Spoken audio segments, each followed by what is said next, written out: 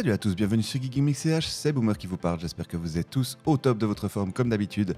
Et voilà, on se retrouve pour une vidéo sur TSW3, donc Train Sim World 3, qui est sorti hier soir en Early Access. Alors j'ai pris un peu la soirée d'hier soir pour jouer, pour tester, pour faire des routes, un peu tester plein de choses.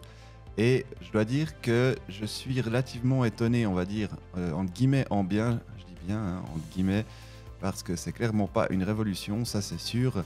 Mais ces nouveaux effets de lumière, ces nouveaux effets de météo, la, météo dynamique, le, ciel, les, nuages volumétriques et tout ça, c'est plutôt pas mal.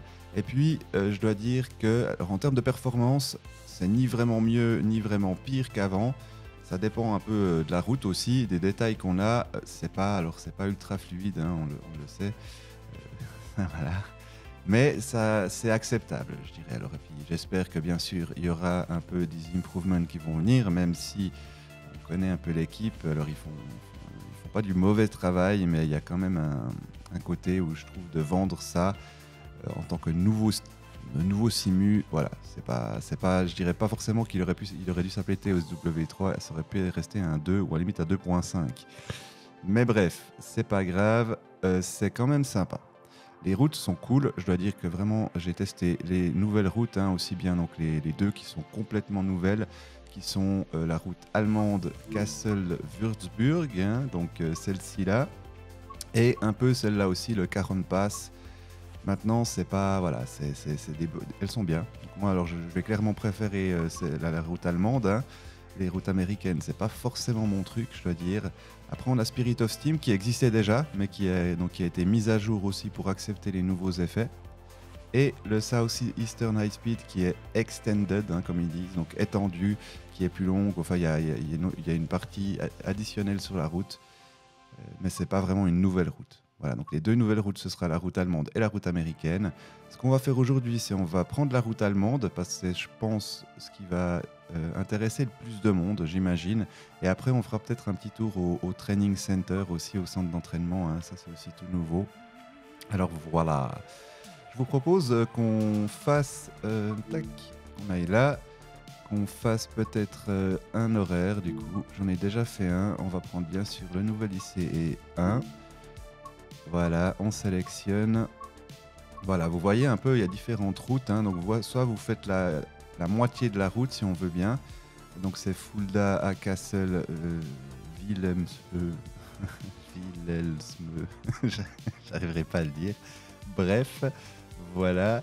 Ou alors, vous pouvez faire la route complète qui dure environ 1h08. Hein, on voit donc c'est 30 euh, minutes ou 1 heure. Donc, ça, c'est cool d'avoir aussi la possibilité de faire une route un peu plus courte. Euh, ici, donc là, on va faire. Euh. On va prendre celle-là. Non, pas celle-là. Euh. Va faire. Ce train de Castle à Fulda. Voilà.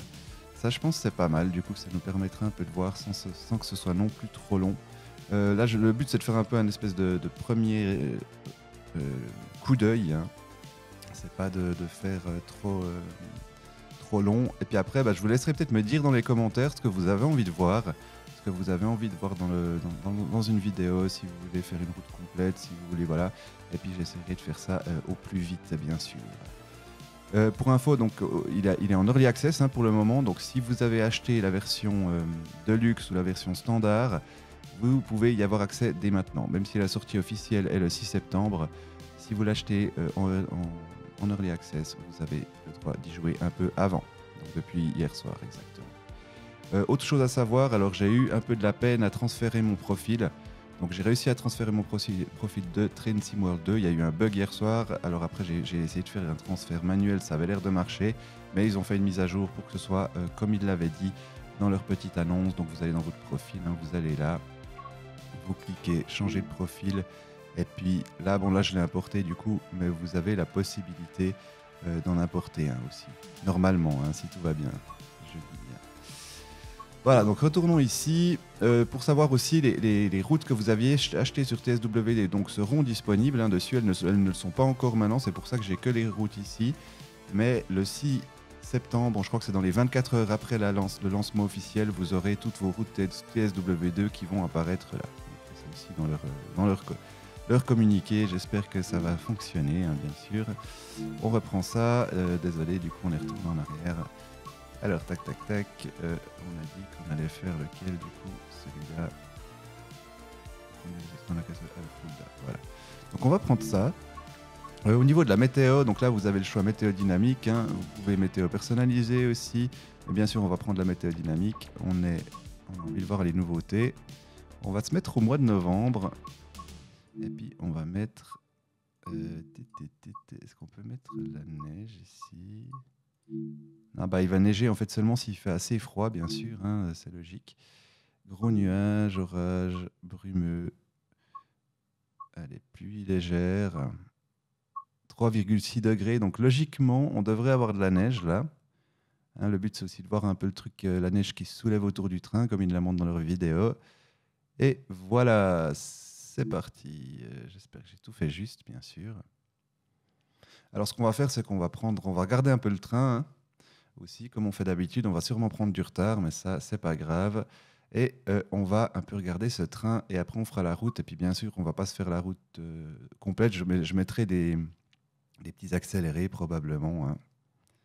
On va commencer comme ça. Voilà, alors il pleut. Merde, j'aurais bien voulu qu'il neige. Alors, je vais peut-être déjà démarrer le train, ouvrir les portes en fait. Alors, on va mettre le petit truc ici. Ok. Neutre. Salut. Alors les phares, on va mettre... euh, non, ça c'est les instruments. On va mettre plein phare. Éclairage de cabine, on n'a pas encore besoin. Donc là tout le reste est bon normalement. On va mettre la clé de frein sur déverrouiller. Et après on activera les différents systèmes. Alors ici essuie-glace, on va aussi mettre un petit coup d'essuie-glace. Mode de l'essuie-glace. Ok, ok, ça. Position parking. Intermittent, voilà. On va se mettre en intermittent.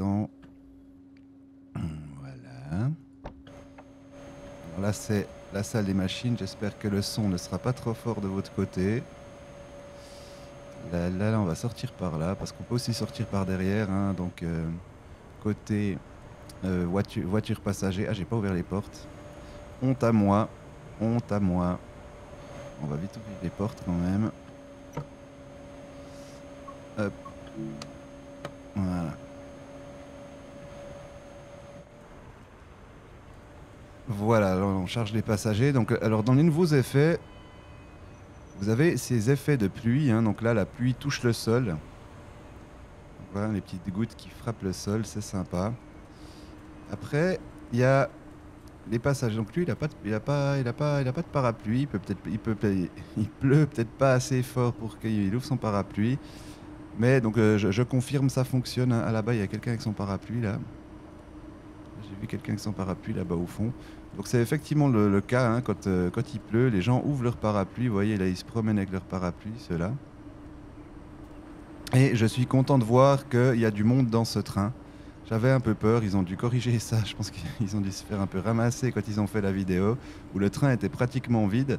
Donc là, on voit qu'il est relativement plein même. Attendez, on va voir, il va ouvrir son parapluie, j'imagine. Est-ce que tu ouvres ton parapluie? Non T'aimes bien la pluie sur la tête. Euh, D'accord, euh, donc euh, non, alors peut-être qu'il pleut pas assez fort, effectivement. On va continuer. Donc la gare est vraiment, elle, est- vraiment bien faite, je dois dire. Le système PIS aussi a été, a été amélioré hein, à ce niveau. On voit aussi dans les, dans les voitures ici qu'il y a le PIS hein, avec le numéro du train, la destination. Alors après, je sais pas pourquoi c'est écrit Nichteinsteigen. hein, alors ça, je ne saurais dire. Mais on voit que le train est bien rempli. Donc ça, ça, ça fait plaisir, je veux dire. Ça, c'est quelque chose euh, qui euh, me faisait un peu peur. Mais ça a l'air de... Il est même plein, en fait. Je crois qu'ils ont carrément fait l'extrême. Autre sens, il est rempli de chez rempli, le wagon restaurant, donc qui est fermé malheureusement. hein. On peut même pas aller prendre son petit café. Euh, non, je veux pas abandonner les commandes. Ouais, il est rempli. hein. Donc ça, c'est vraiment cool, je dois dire. Donc ça, c'est c'est un point positif.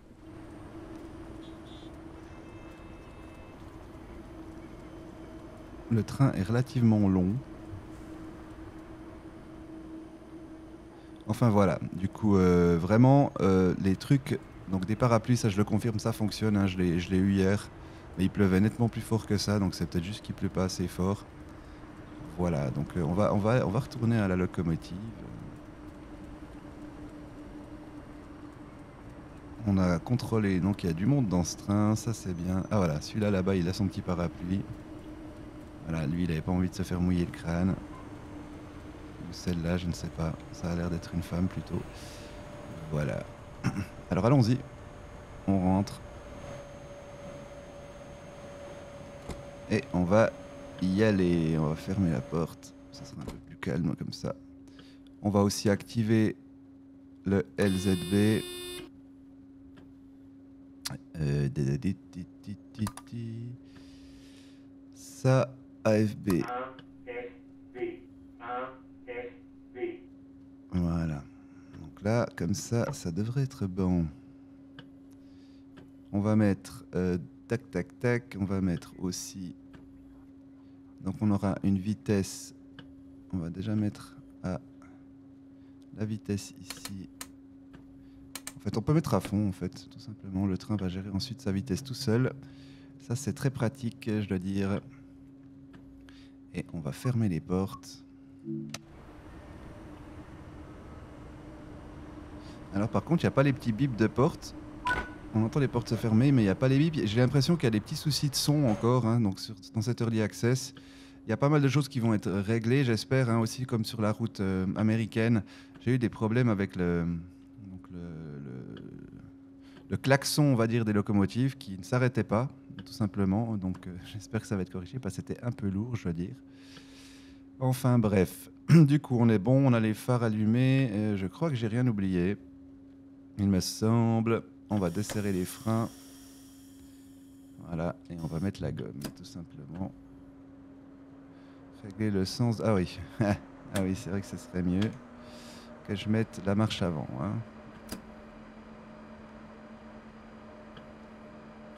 On va mettre un peu de gaz. Hein.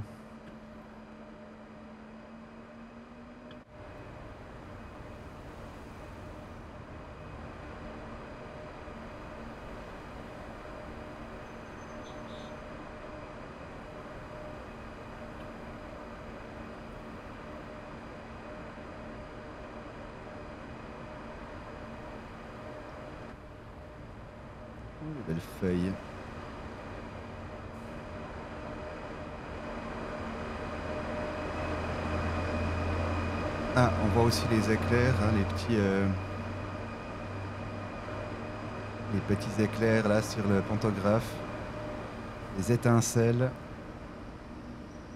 C'est plutôt cool. En plus, ils sont assez bien faits, je dois dire. C'est pas juste un petit flash lumineux, il y a carrément des, des, petites, euh, ouais, des petites euh, Comment on dit ça? Je trouve nouveau plus mes mots, bref. Des petits des sparks, hein, euh. ouais, des étincelles, si on peut dire ça.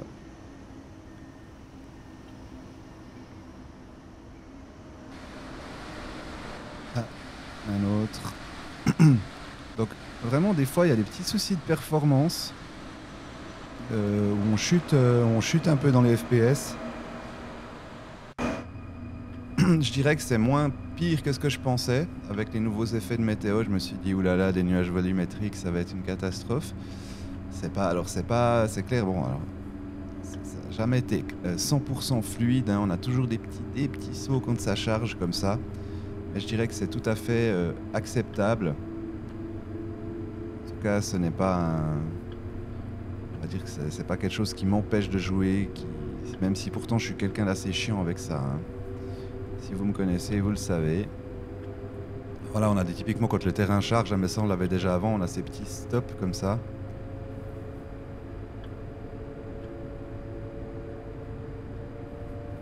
Alors on va pouvoir mettre un peu la gomme là. nouveau, le train va gérer sa vitesse tout seul hein, avec le système de sécurité. On va mettre à fond.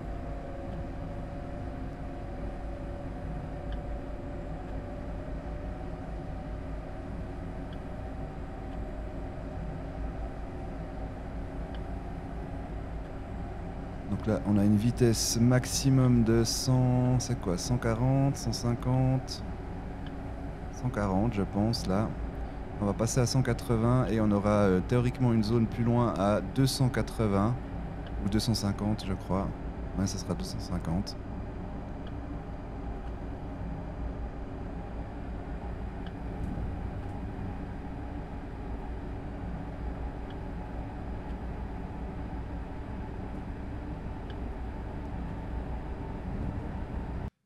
Attendez voir deux secondes. Je vais juste euh, aller dans l'audio vite. Euh, volume général, je vais peut-être descendre un petit peu le volume général. Juste pas vous exploser les oreilles quand même. Voilà. Alors après, il y a ces effets de lumière hein, dans les tunnels où il y a la vue qui s'adapte, on va dire. hein. C'est comme si euh, les yeux s'adaptaient à à l'obscurité. Donc ça, je dois dire que c'est aussi pas trop mal. Donc là maintenant, on voit quand même ce qui se passe un peu dans le tunnel. Donc je pourrais éteindre l'essuie-glace, mais bon, voilà. Donc là, vous pouvez aussi. Alors éclairage en cabine. Vous pouvez allumer le pupitre hein, aussi si vous voulez voir un peu ce qui se passe quand même devant vous. Mais je dois dire que c'est relativement bien fait. Mieux que ce que je pensais aussi. Donc là, euh, cette route, c'est clairement un alignement de tunnels et de viaducs hein, en grande partie. Quand on est sur la partie à grande vitesse, vous verrez, c'est tunnel, viaduc, tunnel, viaduc.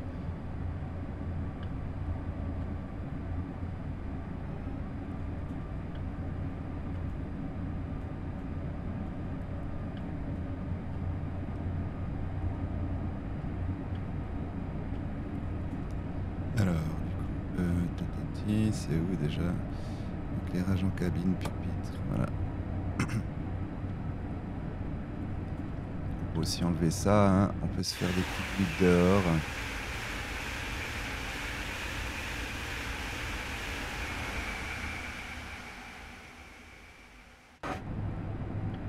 Alors je dirais que pour le verdict, enfin verdict, c'est pas final parce que voilà, j'ai pas encore vraiment eu le temps de tout faire.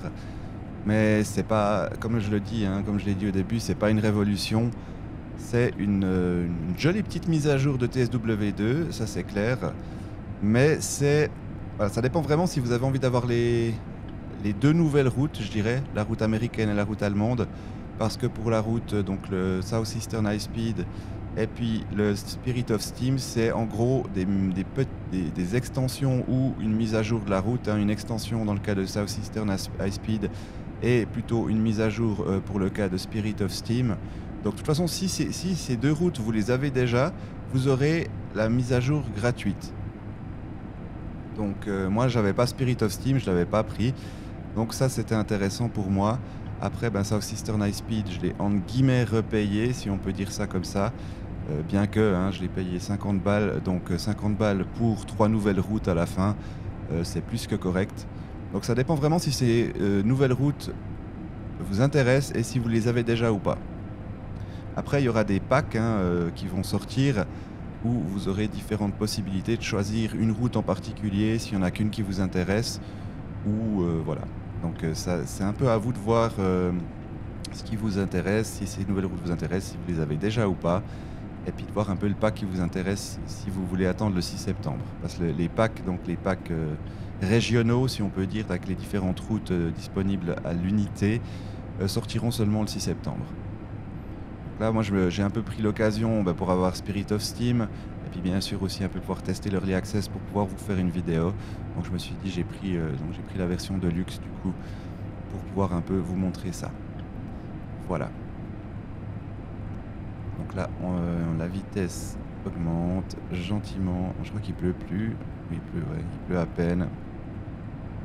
Je pourrais presque, de toute façon, avec la vitesse du vent, je peux presque. euh, position parking. Donc un collègue qui vient en face là.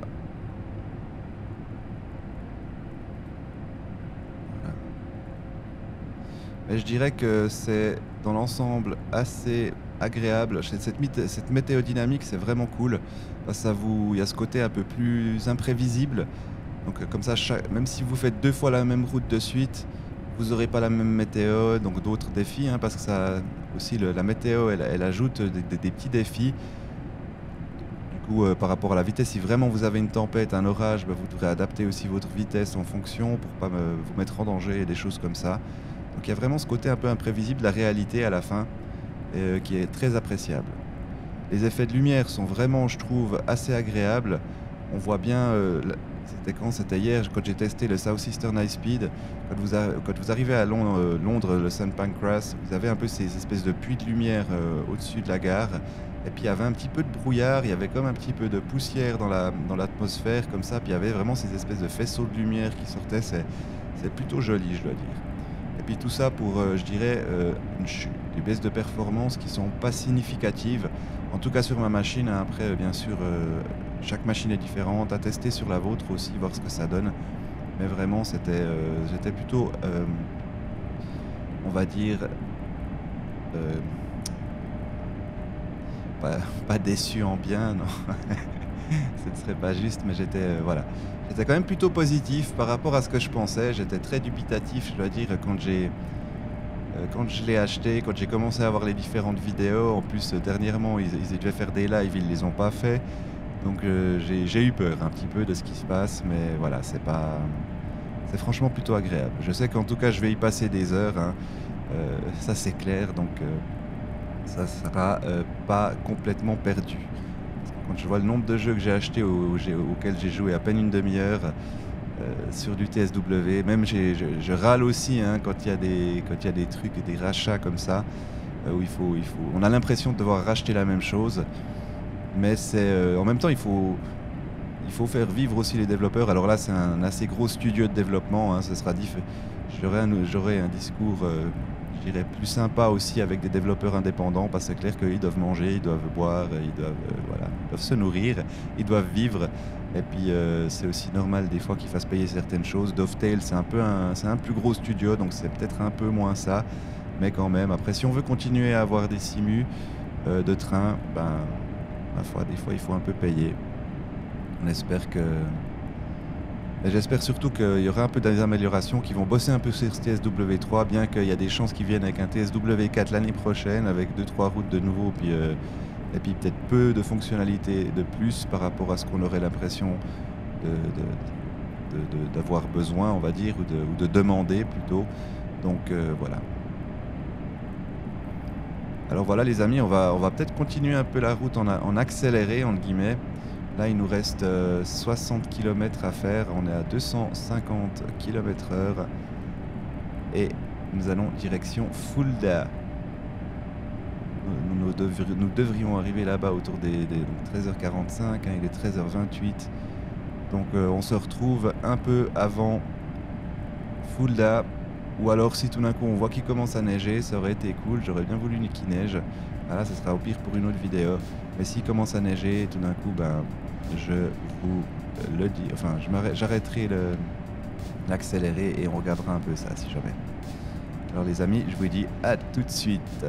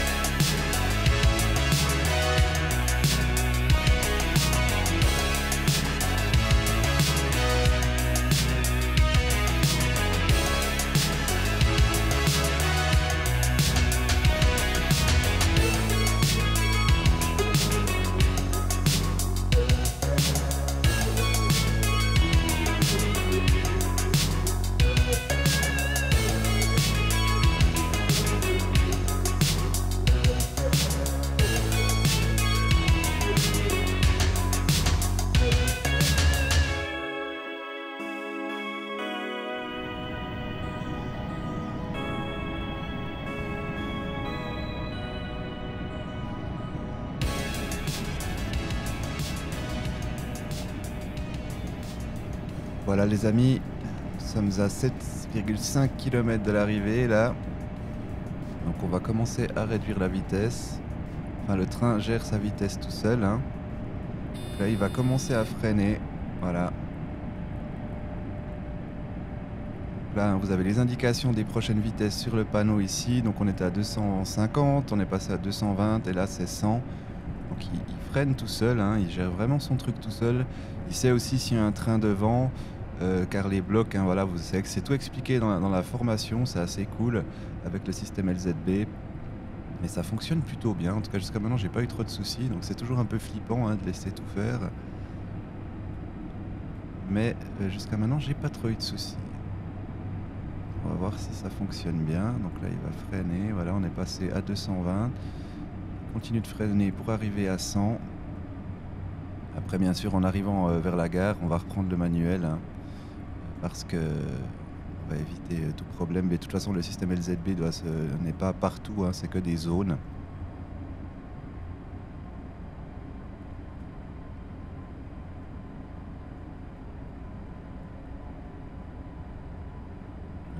si ça fonctionne bien. Donc là, le temps s'est aussi empiré hein, entre temps, donc on va pouvoir mettre les essuie-glaces ici. Hop là. On remet les essuie-glaces si on veut voir quelque chose.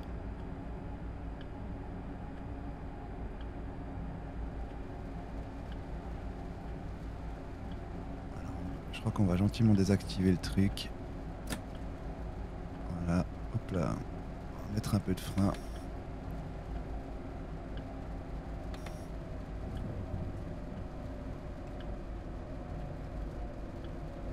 Prochaine vitesse 80, hein, on a vu sur le panneau le 8 là. On va se mettre à 80.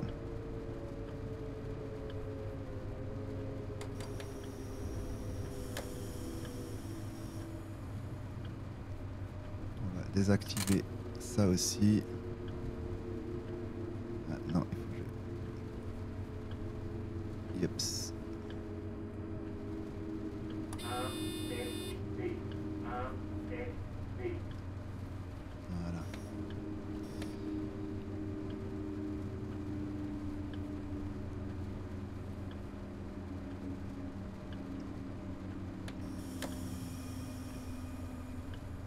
Nous sommes à 900 mètres de la gare.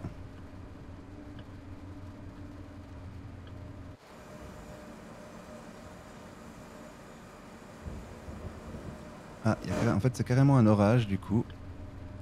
On entend les coups de tonnerre là.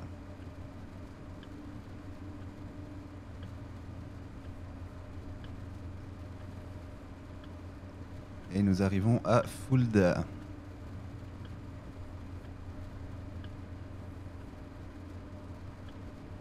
Voilà, un petit coup un éclair qui a pas passé loin là. Alors, il y a pas mal de gens qui se demandaient si les éclairs ça allait être réaliste, genre par rapport à la distance, hein, donc si on allait entendre le son. J'essaie de pas, de pas passer le feu rouge là au bout.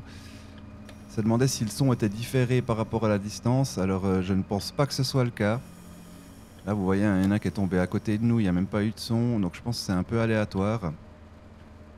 Après je sais pas s'ils ont prévu d'améliorer ça dans le futur ou pas.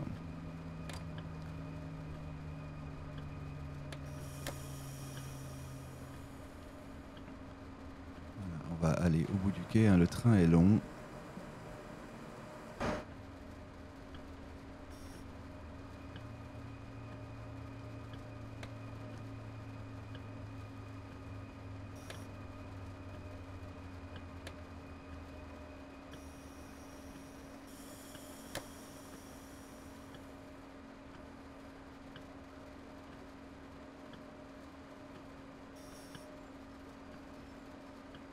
Je crois que là c'est pas mal.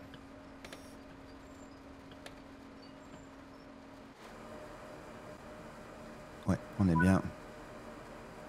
Et voilà, on va déverrouiller les portes.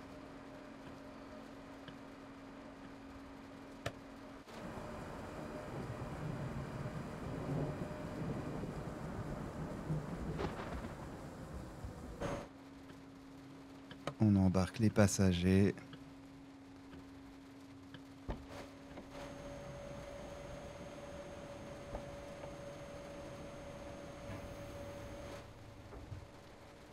Donc là, on est sur du Nicht Einsteigen. Théoriquement, le train doit se vider. Non, mais c'est pas le cas. ça, ça n'a jamais été le cas. De toute façon,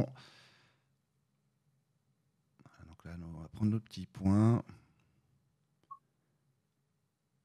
Voilà. Donc là, vous pouvez euh, revenir au parcours libre. hein. donc si vous voulez continuer à visiter. Là, c'est écrit quoi? Ah ben, il va à Interlaken, c'est marrant. Il vient chez nous en Suisse. Enfin, il sans. En tout cas, c'est l'idée. Et il est censé partir à 13h45. Donc on avait un petit peu de retard. Il y a un retard d'environ 5 minutes. là, du coup, c'est quelqu'un d'autre qui reprend le, la main, il faut croire. C'est un de nos collègues. Et prochain arrêt, euh, Anao. Ah, Qu'est-ce qu'il Il ouvre, il ferme.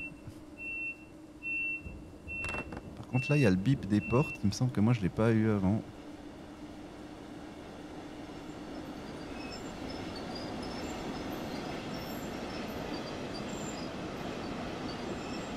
Voilà, donc il part. On va aller au bout du quai un peu.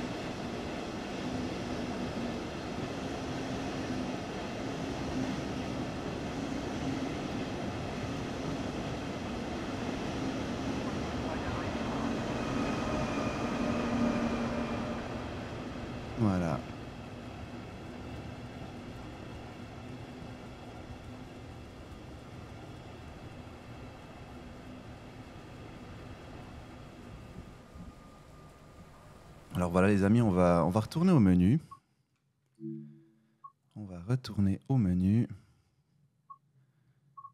Voilà. Donc après, euh, voilà un peu le menu, hein, on n'a pas vraiment regardé. Donc vous avez différentes possibilités.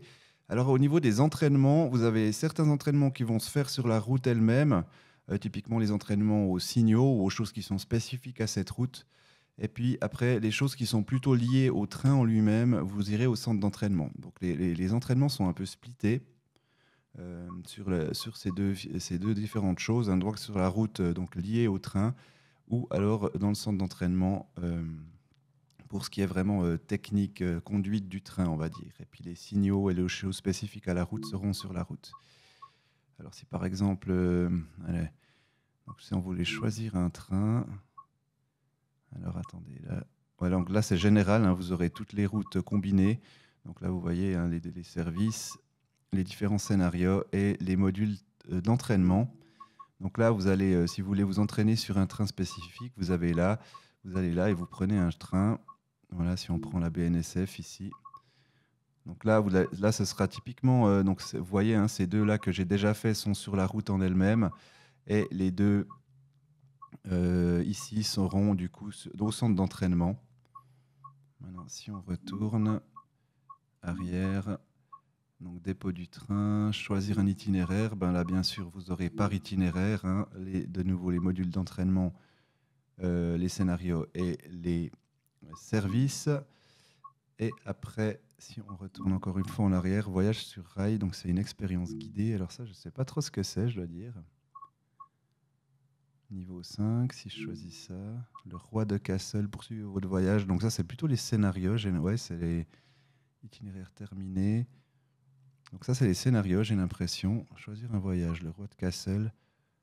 Un nouveau conducteur et profiter de tout, de tout ce que Castle Würzburg peut vous offrir. Voilà. Après, partie rapide. Donc là, faire quelque chose de rapide, faire quelque chose de plus long. Donc, là, ça vous choisit visiblement un truc au hasard entre 0 et 30 minutes. Pourquoi pas. On va voir ce que ça me donne. Cours de mécanique. Donc là, on se retrouve en Californie, du coup. voilà. Pourquoi pas, hein, on va retourner au menu principal. Après, la boutique, donc ça on connaît, hein, c'est pour faire du pognon. Le Creator Club, donc là vous pouvez créer vos livrets. Centre de partage en ligne, éditeur de livrets, éditeur de scénario. Centre de partage en ligne. Continuer. Je sais pas s'il y a déjà quelque chose. Alors visiblement, euh, il y a déjà des choses. Alors je sais pas si c'est des choses qui sont prises directement les mêmes que TSW2 ou si c'est des nouvelles choses. Voilà, donc là, voilà, on a ça. Tac, tac, tac, les options, bien sûr. hein. donc euh, ça, c'est un peu la même chose. Alors sous un autre, euh, sous une autre, un autre design, on va dire. C'est ce qu'on avait déjà avant. De profil, on a vu. Voilà. Donc maintenant, si euh, je vais vous montrer un peu le centre d'entraînement, explorer à pied. Voilà, on va faire ça. On va se mettre en décembre euh, cette fois peut-être. Démarrer à place centrale, centre de navigation. Place centrale, place centrale. On va y aller. On va aller là. Il est 10h du matin en décembre. Euh, on va mettre faible neige. Ah ben voilà. On peut mettre forte neige, tempête de neige. Allez, allons-y, soyons fous. Météo dynamique. Ok, c'est parfait. Allons-y.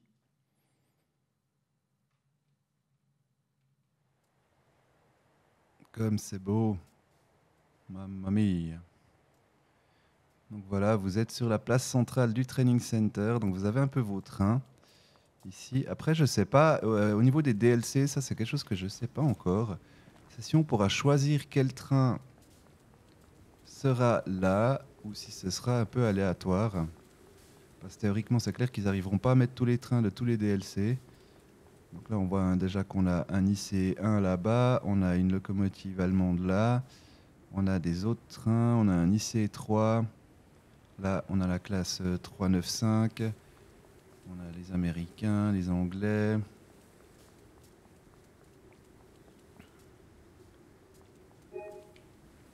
Alors attendez, ça fait quoi là? Alors ça c'est le plan. Le plan du, training center. Euh, un autre IC3. Donc je ne sais pas trop comment ça va fonctionner avec les DLC, si les trains apparaîtront automatiquement, ou si on pourra peut-être sélectionner les trains qu'on a. Voilà. Est-ce que là on peut ouvrir? Je ne pense pas.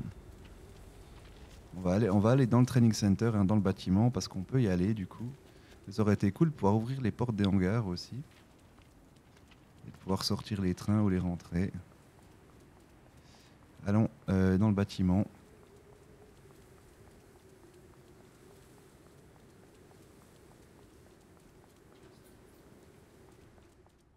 Voilà, donc là nous sommes dans le training center. Alors il y a le locker room ici. Qu'est-ce qu'on a d'autre La salle de conférence. L'office, ok. Donc ça c'est peut-être des choses après. Ils ont, on aura peut-être plus de fonctionnalités dans le futur, hein, je sais pas. Qui vont peut-être rajouter des choses. Toilette, donc ça c'est pas très grave, effectivement. Là on a quoi? Meeting room, locker room, office.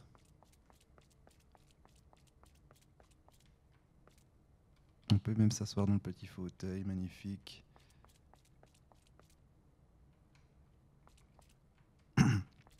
J'ai pas l'impression qu'il y ait beaucoup de fonctionnalités ici.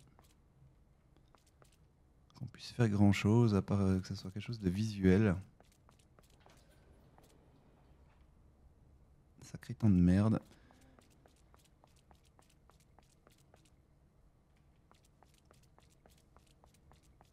Là, pour le moment, j'ai pas l'impression qu'il y ait beaucoup de fonctionnalités dans le bâtiment. J'espère que j'ai rien loupé. Donc voilà un peu. euh, Donc le but hein, de, ce, de, ce, de cette carte, si on peut dire, on va mettre la carte d'ailleurs.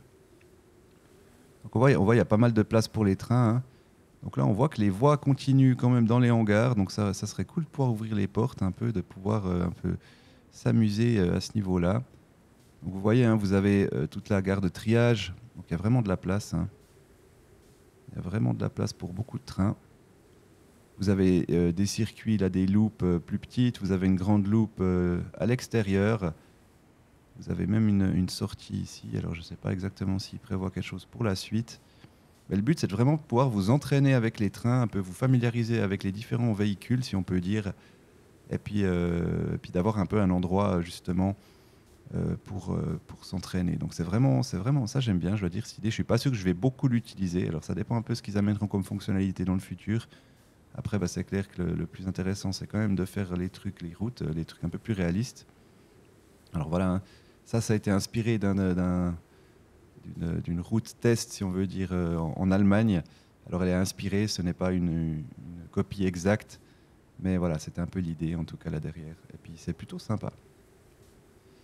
Alors voilà les amis, écoutez, donc ce que je peux vous dire moi euh, sur ce TSW3, c'est que oui c'est sympa. Est-ce que ça valait la peine de l'appeler TSW3 Je suis pas sûr. Maintenant de nouveau, je pense que le plus important, là ce qu'il faut se poser comme question, c'est si ces routes vous intéressent ou pas, si ces nouveautés vous intéressent ou pas, si maintenant vous voulez dépenser votre argent ou pas aussi. Donc ça c'est vraiment personne vous force à le faire. Mais maintenant vous avez quand même deux nouvelles routes complète, on va dire, pour le prix euh, de,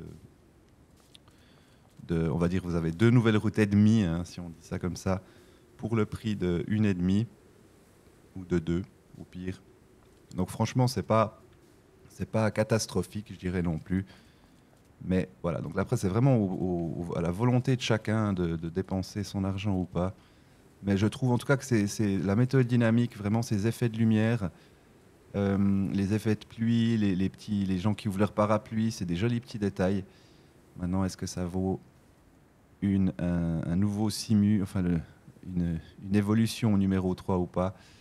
Euh, Ça, c'est à chacun de décider. Moi, personnellement, je suis un peu mitigé, je dois dire. Mais c'est voilà, ça reste sympa. En tout cas, moi, je sais que bah, maintenant, je, c'est clair que TSW, de je ne le toucherai plus, ça c'est sûr. Donc euh, voilà, je n'ai pas grand-chose d'autre à dire.